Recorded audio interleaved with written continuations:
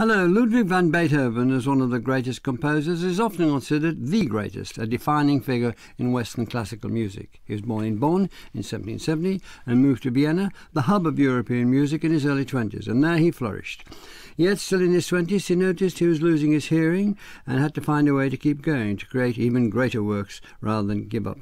His output loomed over the rest of the 19th century as it does today. In particular, he popularized music without words, transcending language, and he changed the way that audiences valued music, making it something that could be engaged with and thought about rather than played in the background and talked over. With me to discuss Beethoven are Laura Tunbridge, Professor of Music and Henfrey Fellow, St Catherine's College, University of Oxford, John Deathridge, Emeritus King Edward Professor of Music at King's College London, and Erica Buurman, Buurman, Senior Lecturer in Music, Canterbury Christchurch University. So here we go, Beethoven without the music. John Deathridge, what signs were there in Bonn that Beethoven might become a composer?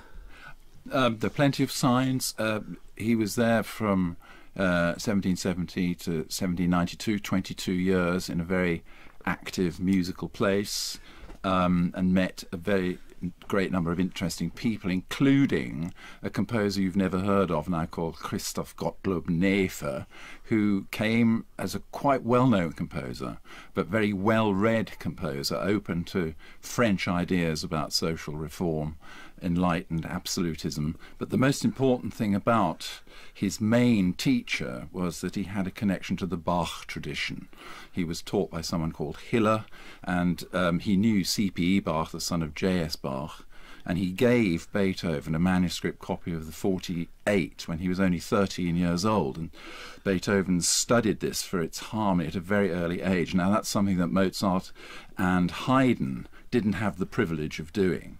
So there was a combination of things with Beethoven's upbringing. First of all, this training in the North German Bach tradition, and secondly, this exposure to progressive ideas coming from France, which were particularly, uh, particularly uh, controversial and talked about in this area of Germany.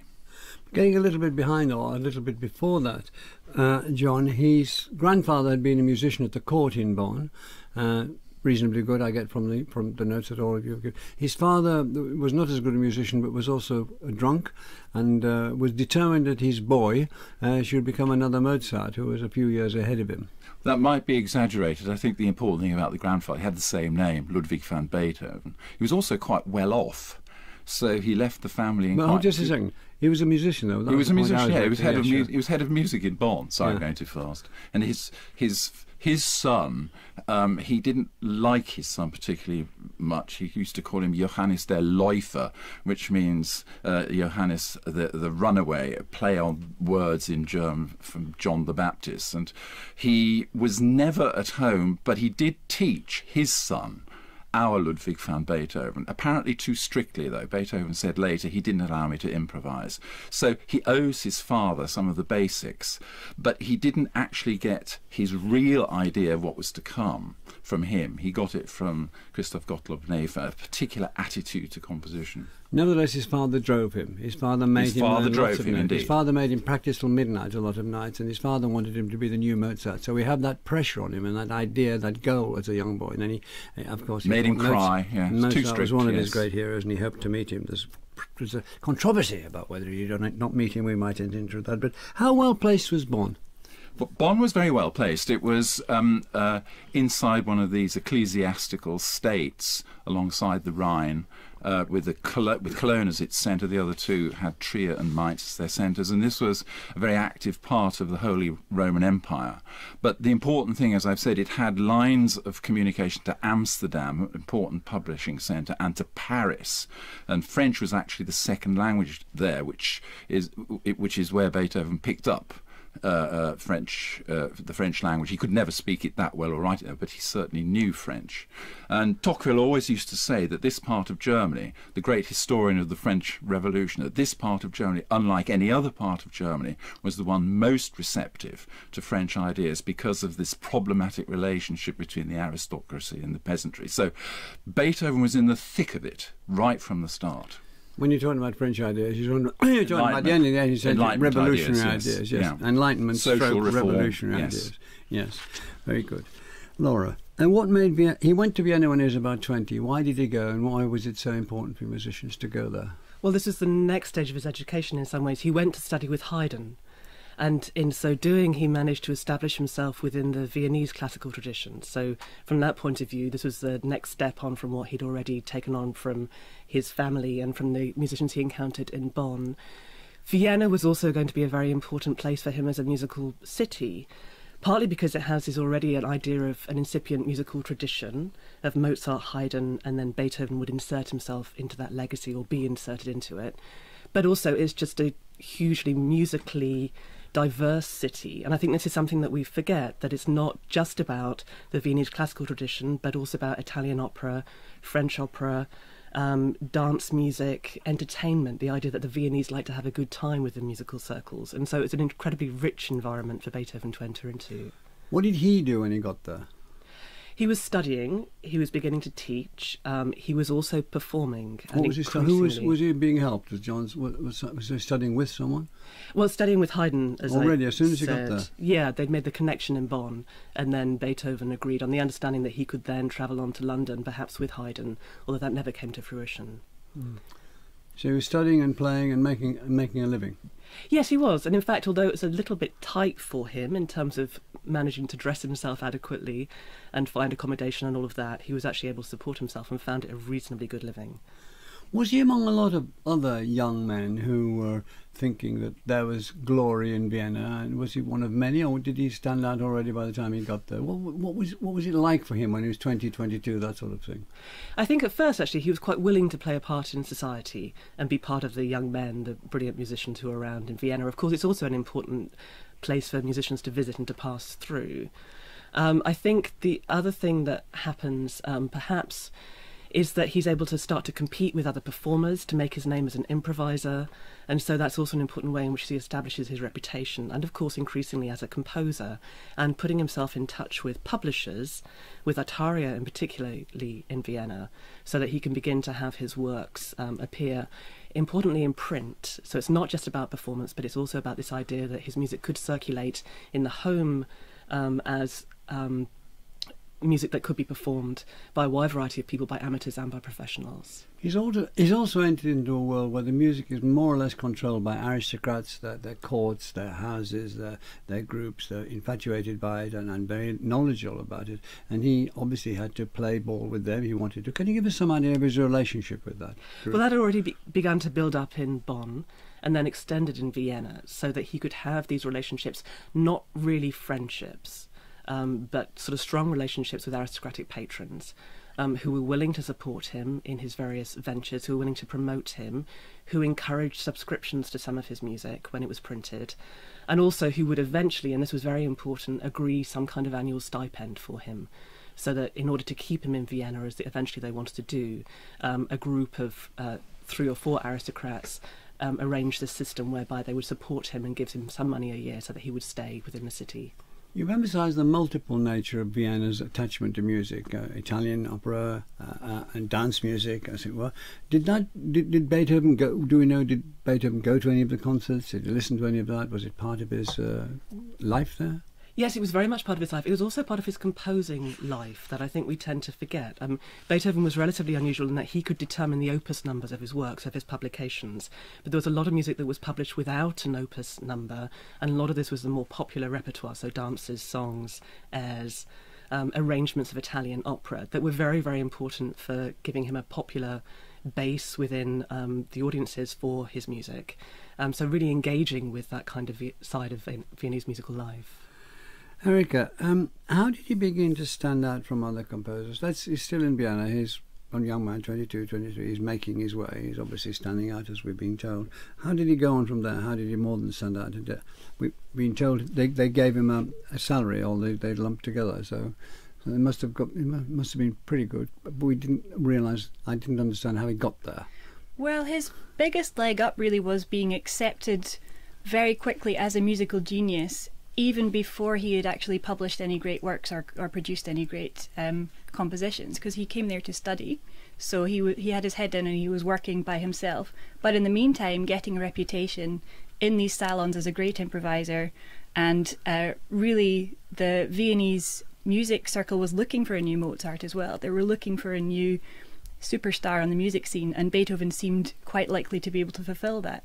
So that by the time he did publish his first major opus, which was his piano trio's opus 1 in 1795, he was basically already recognized as the greatest young musician on the scene.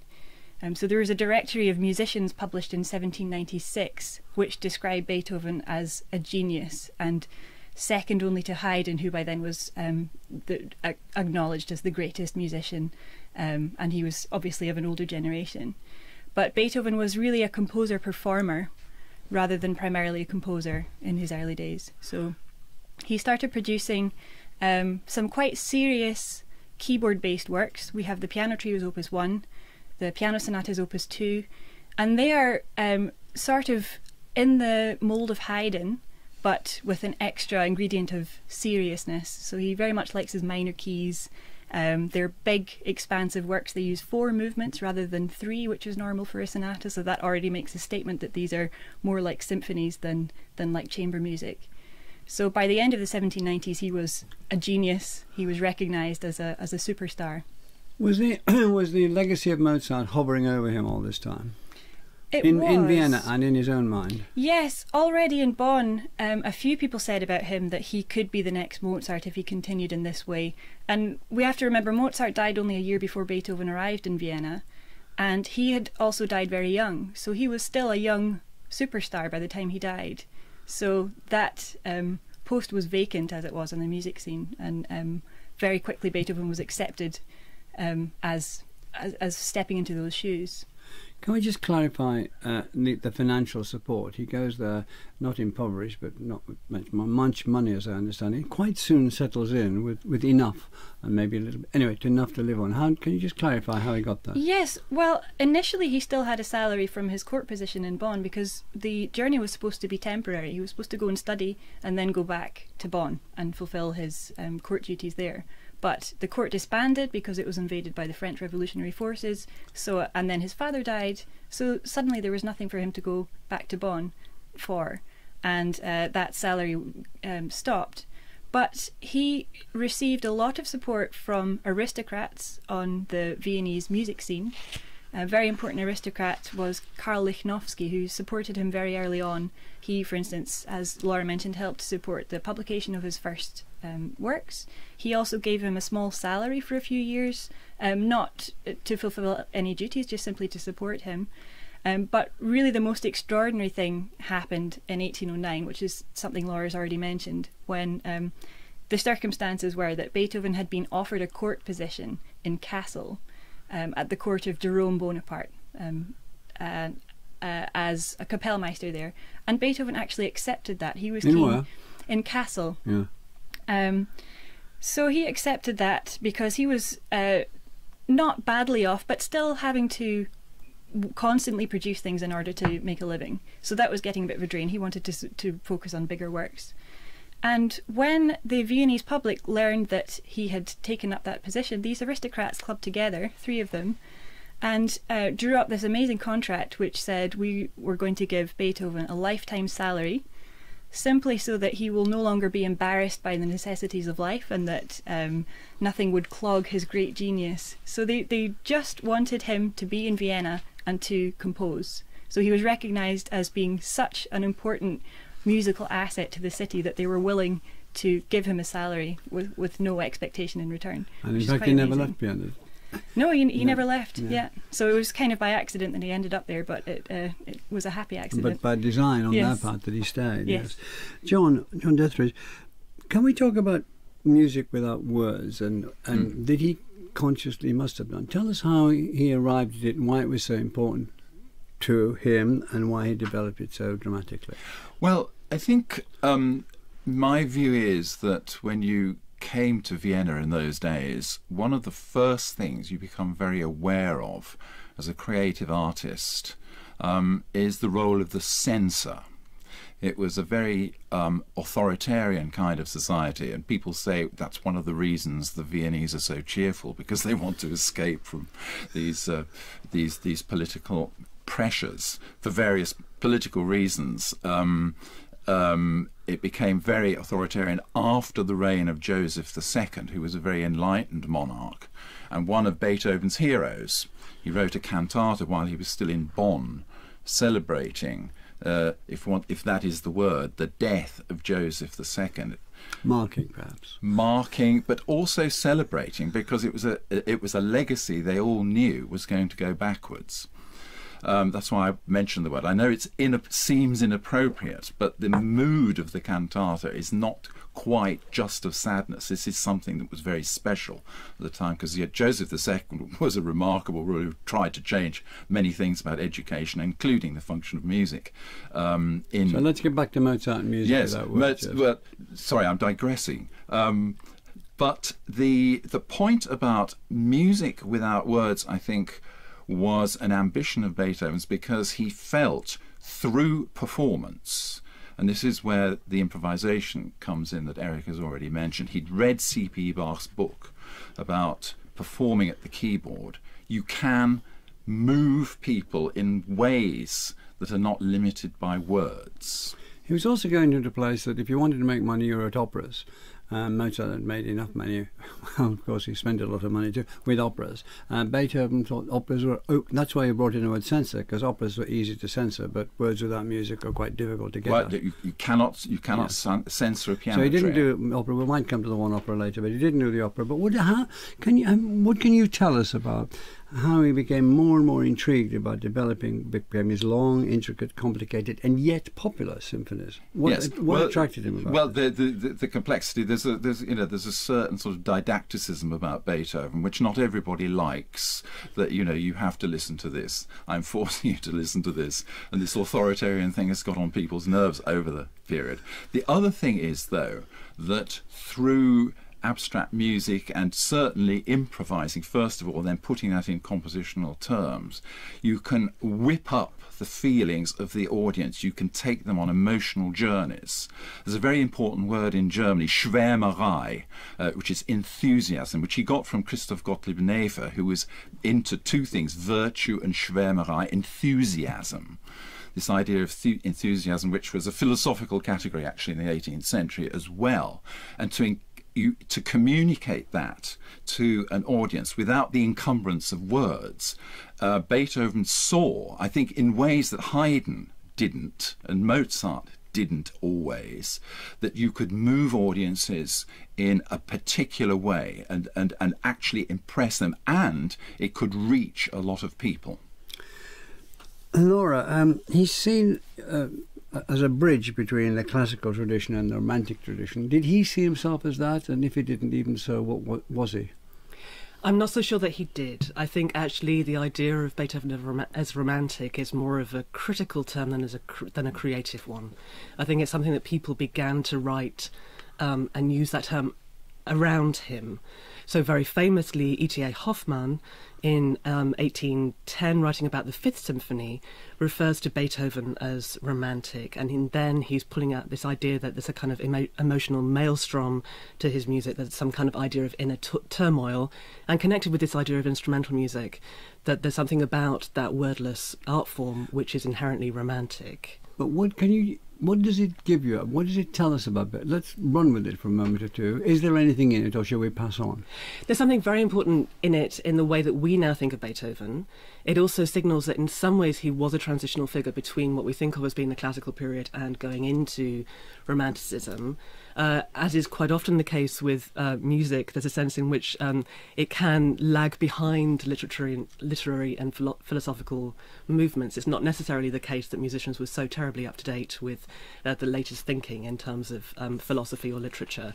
However, it was all around um, at the same time, and people were beginning to listen to this music because it didn't have words in these quite sophisticated romantic ways. But John mentioned how music could and did move, his music did move people, as music moved people for, for thousands of years, one, yes. one assumes. Um, but did he deliberately use that as a way to communicate beyond the way he'd heard people even hadn't communicated before? Did he say, I can make this more richer than, than literature, richer than painting? Because he was very competitive. Well, so- put that to one side. What yeah, do you yeah. think? Yeah. No, I mean certainly competitive, certainly ambitious, and wanting to express perhaps more in music than had been done before. The other thing What was that? What was more, what was the more he wanted to express? Um, if you wanted to go down uh, the spiritual route, you might think that there was some sense of the otherworldly that you could hear or might be conveyed within Beethoven's music. There might be something within his personal experience, Without but there words. might, yes, also be an idea of exploring the potential of abstract forms. And one of the ideas that we might pick up from Romanticism is an idea of kind of chaos and complexity, and that's something that, as you look through Beethoven's career, you can certainly see as being the case. That that idea of experimentation and the kind of radical um, extension and explosion of um, tradition is something that you might want to um, hear within Beethoven's uh, works, and which he might arguably have been exploring within them. Was that noticed, uh, Eric? Was that noticed early on? Uh, did he come to it later in his career? Uh, was it? Was he thought of as uh, different because of his attempt, which is his success at complexity, and also yet keeping a lot of people engaged?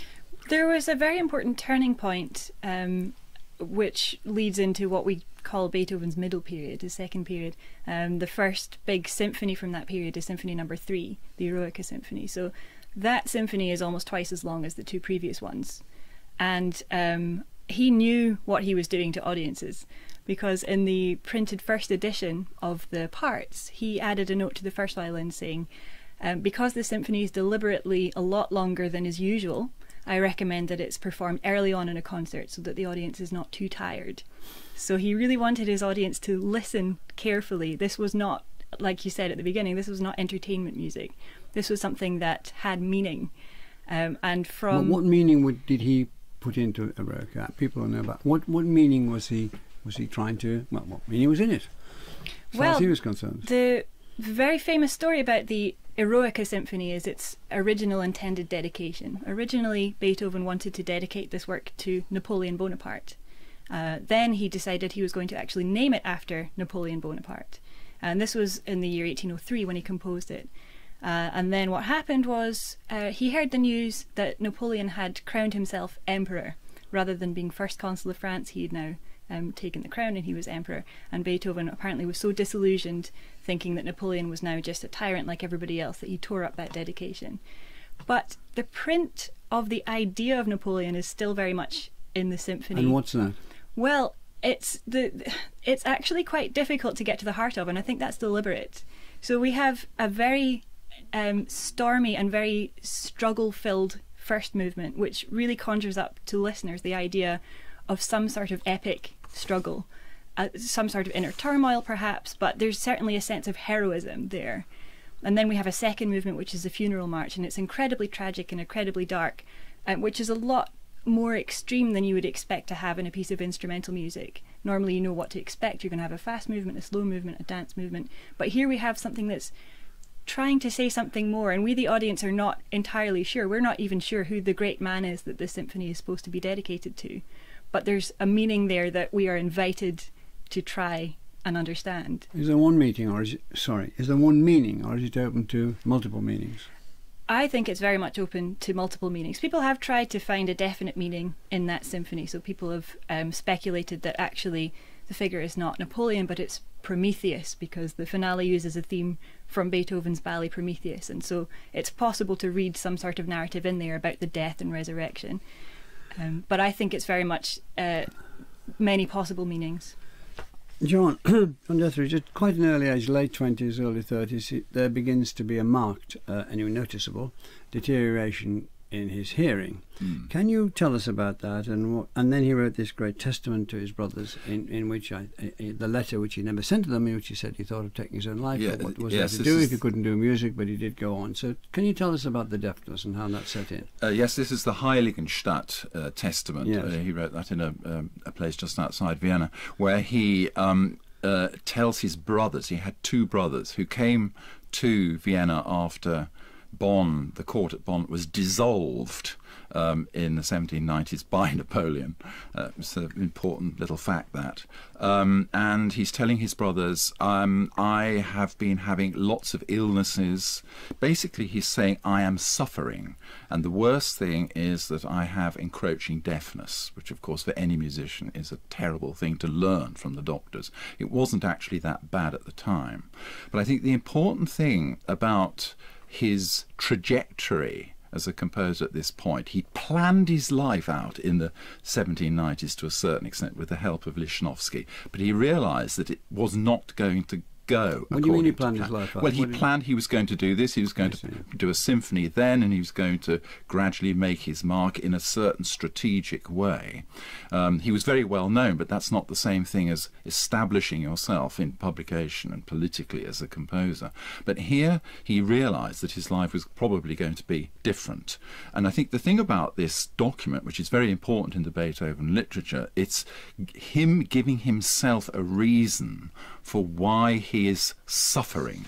And he's also, by not sending it, saying, I'm going to I'm not going to commit suicide, I'm going to overcome this suffering. In a sense, that's what the Eroica Symphony is about. It's about something that's very problematic in the beginning movement, then you have the funeral march and so forth, and in the end, it's an overcoming of this particular state Yes. of mind. I would quite like to return to the deafness later on. As how does it affect affect this comp- composition? Because there's obviously a, a discussion to be had about that. Yes. But if we just move on to get through a few uh, uh, major points, Laura, the next one I'd like to go to Fidelio, his opera. What do we learn about him from that?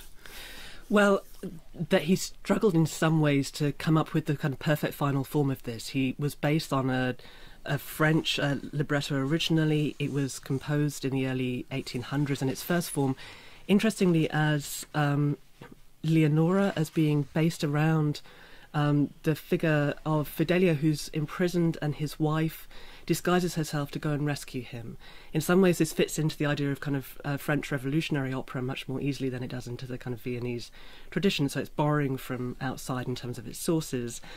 Um, it's a long work. Quite often, it's seen as being something that doesn't quite work dramatically. Its first performances um, were also um, slightly stymied by being uh, premiered at the time when Napoleon had first occupied Vienna.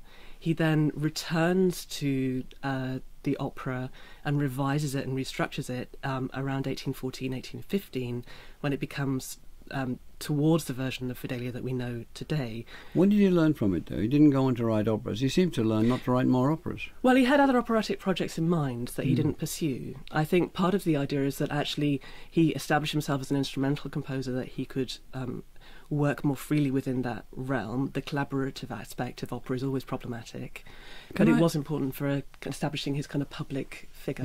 Yes, and it sort of limps slightly, although it's got much magnificence in it. It has slightly limped along uh, uh, ever since, really. And before you three, I'm saying that very tentatively, so Yeah, I'm going well- to move on.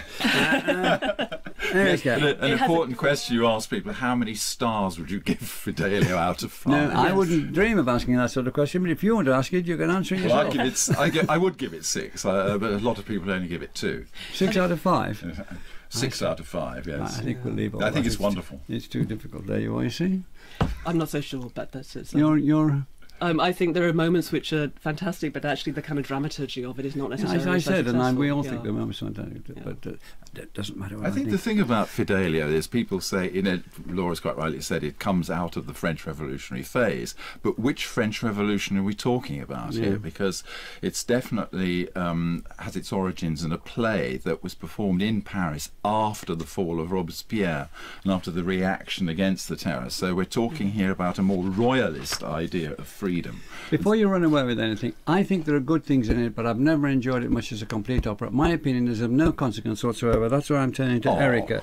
Uh, what we um, Laura's mentioned that he concentrated on instrumental works. About this time, what's he, he's working? He's going. His, his deafness is deteriorating. Um, and is, what sort of instrumentalist work is he doing that he hadn't done before? How is he developing his instrumental work? And so this is around the time of his deafness. Uh, well, he No, not in terms of deafness, not yet. What's he doing after Fidelio? What sort of work is he doing? Well, um, there are symphonies every so often, so there's a big ten-year gap between the seventh and eighth and the ninth. Um, but at various points, he's he's writing piano works. He's still very much a pianist at root. So we have piano sonatas from all stages. Is he still career. able to perform despite this encroaching deafness? Um, yes, for a while. So he still was performing in in 1808. He performed the premiere of his fourth piano concerto. So by that time, he was already um, becoming hard of hearing. He performed for the last time in 1814 that we know, and at that time, in order to have a conversation with Beethoven, you had to shout. So he was struggling to have conversation. Around that time, he started using ear trumpets, and by 1818, his hearing had deteriorated so much that he communicated by using conversation books.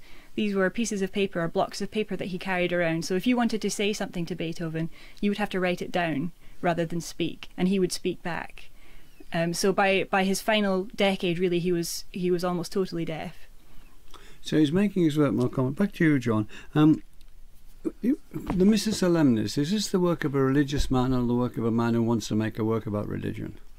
Um, I think it's both in a way. Um, one of the problems about Beethoven religion is he never left any document that spells out his religious beliefs. But we do have the Missa Solemnis and the Mass in C, its predecessor, that's been put in the shade, un, uh, I, think unjustly, because the Mass in C is also a wonderful Mass. But the, the, the Missa Solemnis um, is proof, if anywhere needed, that uh, Beethoven thought really extremely hard about the whole issue of the deity, the divine, went into each clause of the Mass, did research on it in Archdo- uh, Archduke Rudolph's library, managed to create a kind of music that's actually not like anything else he wrote. It's a very unusual piece. Would you describe it as a religious piece? I would describe it as a religious piece.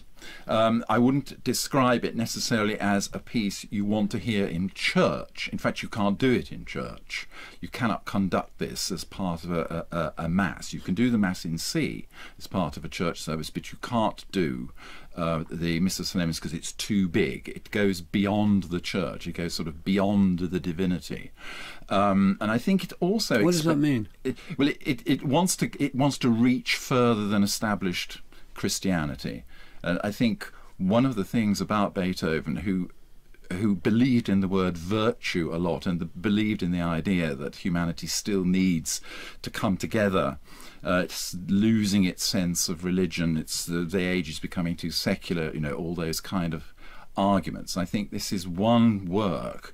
Uh, which is not not only musically ambitious and absolutely wonderful, it's supposed to take you out of yourself into realms that you haven't explored in terms of religious I, feeling. it certainly does. Um, Laura, what do we know about his working method? Well, actually, Erica has already mentioned his use of notebooks in terms of communication. We've already spoken about the way that he was an improviser, and that was important in the way it fed into his compositions. He was also somebody who sketched a great deal. So these could be uh, sketches for works on a kind of conceptual level that would think about the Is overall he sketching structure of it. music? Yes. So he's carrying these notebooks and they're full of music. Um, he had workbooks that he made up himself and that he would jot down ideas on, but also he would return to ideas, save ideas, come back and revise. And that could be quite large scale structural thoughts, but they could also be details. And you could have this sort of sense of the labour of um, producing these scores. We have this sort of extraordinary devotion. So Irene, getting up at dawn, working, uh, working, working, working again, then going out for a walk or a walk in the country, which is something he did most days and something he particularly liked. Yes, and something he might can't do something similar, right? I mean, Yeah. that idea of having the break within your day Yeah. uh, to contemplate. But the sort of romantic image of it is of him going with his notebook and transcribing thoughts as he went. yeah. Um, so But working, working, working is what we're talking about, really, aren't we? Um, yes, but I think there are also kind of ideas of him socialising, of meeting with people, of being in taverns, of um, maybe not participating in social life as much as he used to in his youth, because in some ways his deafness meant that he didn't um, enter into society as gladly as he had done before. So can we track that a bit further, Erica? Uh, he's, he's, he's going deaf. He's, he's writing more complex works, taking a longer time. He can afford to do so, literally, because of the money coming in. Um, and what sort of life does he have around him? He, he gets involved with several women. He doesn't marry anybody, um, and so on. Can you just make that more literate? Yes, well, the, the classic images of Beethoven being ill tempered and a bit misanthropic And uh, that is fair to some extent, and it's partly due to his deafness. It's something he recognised in himself and mentioned even in the Heiligenstadt Testament. So he, he says, People see me as a man hater, but no one understands what I'm going through. Um, but actually, even before uh, there were signs of his going deaf, he was already um, known for his slightly fiery temperament. There are stories of aristocrats in these salons literally begging him to play and him refusing. You know, he had this slightly haughty temperament, which was part, I think, of his persona as an artist as well, particularly in the salons as an improviser. Um, but yes, you mentioned he he never married, but he did fall in love, love several times. He proposed twice, was turned down. And the first time because he was so ugly, apparently, and half crazy. And the second time we we don't know why. But he was falling in love with women who were out of his league a lot of the time. So he was. This was still a very hierarchical society. So there wasn't really any way that he was realistically going to marry above his station. But he fell in love with a lot of his um, aristocratic piano students, for instance. It was tempting to see that as deliberate, that he's perhaps uh, looking for an excuse not to uh, not for not to be able to marry. But uh, certainly in his final years, he was very much an established bachelor, and he, he stopped looking for. There's one woman he fell in love with and wrote a letter to. We don't know her name, but this right. she was the one. Yes, uh, these now notorious letters he wrote to an immortal beloved. This was in the year 1812, and uh, he seems to have been very much in love with this woman, and they were thinking of um, building a life together. But by the end of these three letters, it's established that they are going to have to live apart and never be together. And that seems to have been the turning point for him. That after that point, he was uh, a bachelor and uh, no longer looked for for that kind of relationship. Yes, uh, this is a. I think this is an important subject. The letter to the immortal beloved. I think it's absolutely wonderful that we don't know who the woman's name is, but books have been written about you know who it is. What There's an obsession with this letter. It was also like the Heiligenstadt Testament, never sent. Apparently, um, it was found in a drawer after Beethoven's death. But it is another letter, really, about suffering and about how you know I I'm never really going to get the woman I want and i think yes particularly, it's yeah. it, it, it, it- it's it's like the, it's it's almost giving a reason of why he's feeling the way he is Can I ask you? It's very difficult, and if there, if there isn't time to give a, a proper, a reasonable answer, let's forget it. Is there any way of tracking the influence of his deafness on his music? Because he became increasingly, increasingly, increasingly deaf, and the music became increasingly, increasingly complex and long. Is there any correlation between that? I think that's very difficult to determine. Um, a lot of people have said the certain way he orchestrates the Seventh Symphony, for example, shows that he was deaf, but I, I do I do think that's very hard to prove. Goethe was the one who. Uh, who he met in Teplitz. This is the time when he wrote the letter to the immortal beloved, and actually said, um, "I like Beethoven." They almost met uh, uh, over a period of weeks or every day, and said his deafness. He is to be pitied because his deafness means for him a social encumbrance, which is very hard for him to take. So socially, his his behaviour changed. Uh, Richard Wagner had an interesting theory about this. He said his deafness actually made him think more about the relationship between the practicalities of music and how one thinks about it on paper, ideally, before anybody's performed it. And it somehow loosened the inhibition that one might have had. So he could actually write things on paper, and his deafness allowed him to escape from that kind of restriction. But I think that's rather a fanciful theory as well. His own cork-like, cork-lined room in his head, really. Laura, um, it's said that Beethoven changed the way in music, the way music was performed and was received. How did he do that? If you bear in mind actually how some of his first works were premiered, it gives us an insight into what he was responding to. So if you think about a concert that happened on the 22nd December uh, 1809, this was a cold winter's night. It lasted four and a half hours. It included the Sixth Symphony, a concert aria, uh, movements from the Mass in C, sung in German, the premiere of the Fifth Symphony, and the choral fantasy. Um, that kind of concert was not unusual in Vienna at the time. The idea of mixing sacred works, instrumental works, symphonies, concert arias. The idea of kind of specializing and beginning to listen to uh, music in a kind of more dedicated way um, was something that was built into the way in which he started to think about quartets and some of these, in fact, he even said, this music is so complex, it's not really for public consumption. This is music that you have to put the work into to get something out of. He was also struggling against But the interesting thing is that the place was full. So it's, Yes. it's not only what he's doing, it's how it is being received. It is very complicated. People are saying, I don't understand that, but it's great, and I'm going tomorrow night as well. Yes, but the other thing to bear in mind is actually the kind of performance preparation culture was also very different. So you were listening to things that had been done on one rehearsal, or even the concert spirituel were done as playthroughs in the afternoon. So the idea of hearing a polished performance, which is what we're used to today, is also uh, not around in quite the same way. So the idea that you have to work on learning to play these quartets, that they're get- then going to be performed to a group of connoisseurs and appreciated as such is important. And in a way, by writing such complicated music, he's demanding a different kind of attention from listeners. Erica, um, is it possible to summarise his impact on classical music over the last uh, century and a half, two centuries, is it? Well, he, he was a huge influence on later 19th century composers of instrumental music, and particularly in the symphonies. Um, Laura started talking about some of the quartets and some of the more experimental things he was doing in the smaller forms. In some ways, those were less influential because they were so far out that people didn't quite know where to go after that. But the symphonies, he really um, transformed the symphony into something that was much more of a big narrative, something that you have to listen to with attention. So the idea that there's a, a long trajectory over the course of the whole work is something that he did marvelously in, in works like the Fifth Symphony, which has this whole trajectory of struggle and overcoming and final victory. And that sort of set the standard for large scale musical forms for the rest of the 19th century and, and beyond into the 20th. John, briefly, I'm afraid. Um, I think Beethoven established the idea that music was the best way of conveying the idea of suffering and sorrow which you can overcome. It's the idea of enthusiasm in the face of of, of, of ad- adversity and also about freedom, freedom that we don't have yet, which is one reason I think why Be- Beethoven is still a modern composer people feel. I mean, it's modern. It's a, it's a kind of state in music we haven't reached yet. Well, thank you very much. Thank you all. Thank you, Laura Tunbridge, John Deathridge, um, Erica Buurman. I usually say, what did I miss out? But there's so much that I missed out that I'm not going to say that this time. What would you like to continue to talk about?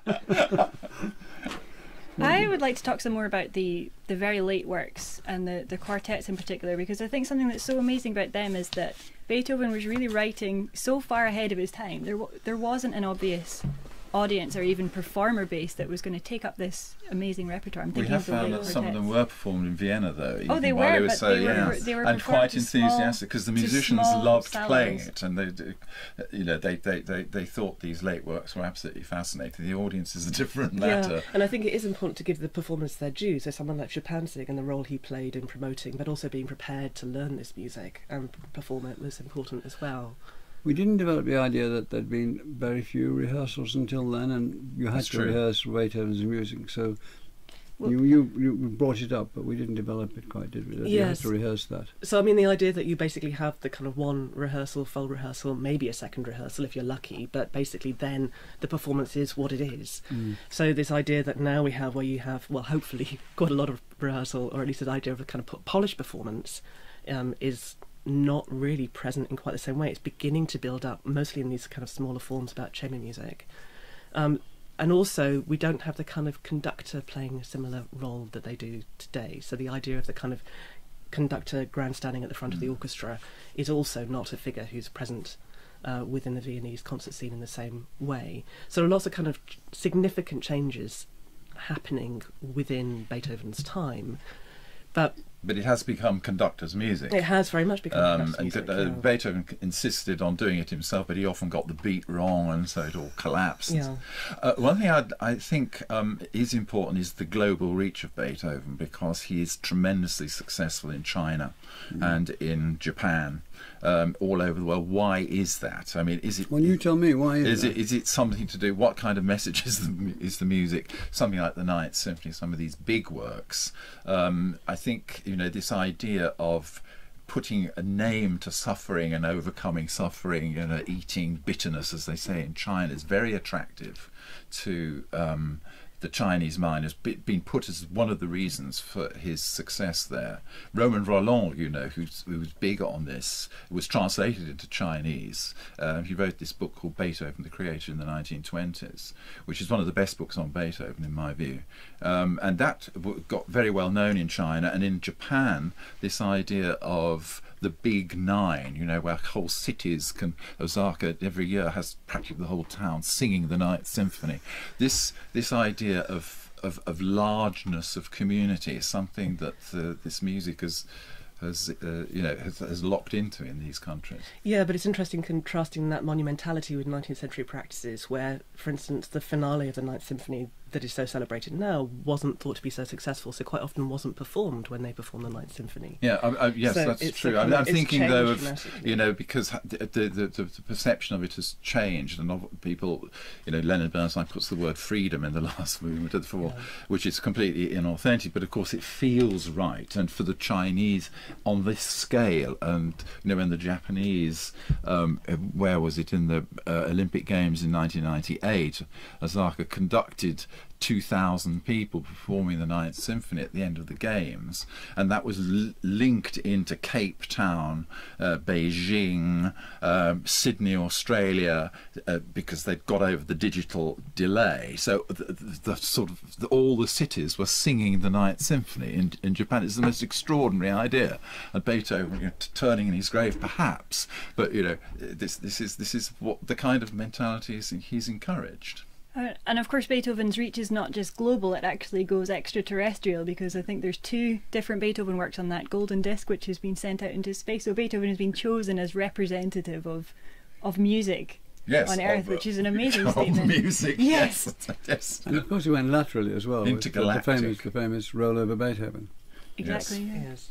So that idea of the artist whose life is important as well is also significant. Mm. There, the kind of composer where we spend all our time wondering about his biography and how it connects to his music Mm. has also proved hugely influential. Yes, I'd love to know how Chuck Berry came on onto that title. I mean, the idea of rolling over Beethoven. I suppose that's what we're doing here, really. Give Tchaikovsky the news. Yeah. Yes, yes, Tchaikovsky, was, of course, wasn't he very? Uh, yes. they all were. I must They- were they all were had Beethoven were looking they over- influenced or intimidated. Yeah, they were, he was looking over their shoulder. Brahms said the same thing as Tchaikovsky. You know, I've got Ludwig here. Hello, Ludwig. Let me try and write a Did he, symphony. did he up the game for everybody because of Yes. what? Of course, Yeah, yeah, yes, Yeah. including Wagner. yeah. And I think it is that taking music seriously and the kind of abstract music or whatever, any kind of music, elevating it is what kind of raised the game. Yeah, many and also ways. going one better. How, I mean, how how do you trump the Ninth Symphony? Mm. Uh, you see, the Missa Solemnis is more difficult uh, to trump because not everybody was into writing masses, but symphonies it's a very public genre. I think it becomes a competitive game where you know, not all composers win. I have But to say. Wagner, to a certain extent, I know this is elliptical and sort of demotic in a way. In a way, he sort of picked up where Beethoven left off. He did. He, he thought, I can carry this forward.